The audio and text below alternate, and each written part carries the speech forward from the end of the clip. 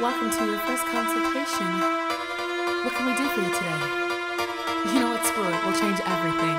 She It'll be, is so uh, photogenic. Botox, Yeah, I'm thinking liposuction. you She is so We'll even give you a six pack. talking on the phone and emailing.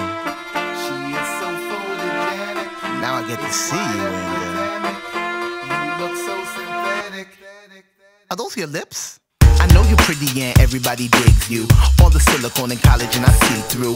Now the natural girls, they wanna be you. But we never even got to see the real you. Got your reasons, I suppose. Don't like what Mother Nature went ahead and chose.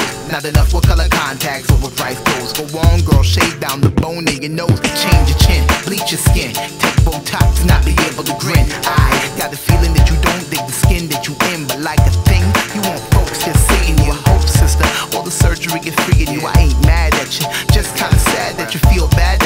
win with what you had. Would you stop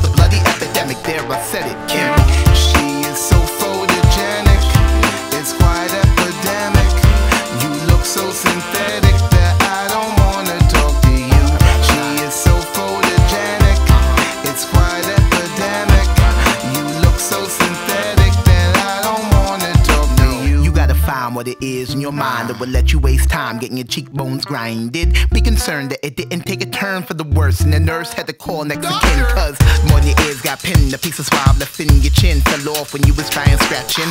Not saying it's sin, don't feel like skin. Plus the areolas just ain't matching. I know it's gruesome, new tits move 'em, not an improvement. Pamela had them, then had to lose them. Silicone oozing, five weeks healing from the bruising. What's the obsession with perfection? Losing yourself in your own reflection. Black pop king with a bleach complexion. Television got surgery connection. Come on. She is so folded.